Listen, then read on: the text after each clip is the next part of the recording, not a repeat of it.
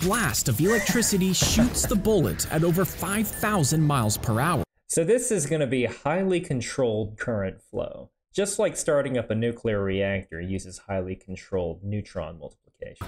And it can hit a target 100 miles away. The incredible force can punch through steel, destroying an enemy ship in a split second. So the kinetic energy is immense even without explosives. But real naval targets are compartmentalized and designed to absorb damage. So it would be devastating, but I wouldn't guarantee this thing to instantly sink a ship.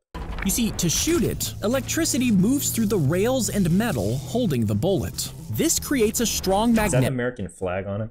field, which pushes the bullet down the barrel at incredible speed. Good old Lorentz force at work. Continuous acceleration from the electromagnetic interaction between the rail's current and magnetic field. Kind of like how control rods in a reactor shape the overall neutron flux. But the gun uses a huge amount of power, too much for any ship to carry. That's not true. Nuclear reactors on an aircraft carrier have more than enough power. The problem is power pulsing. Delivering tens of megajoules in milliseconds is challenging. Also, the rails will erode after a few shots, and those materials struggle to dump waste heat fast enough. More of a materials science problem than a power problem.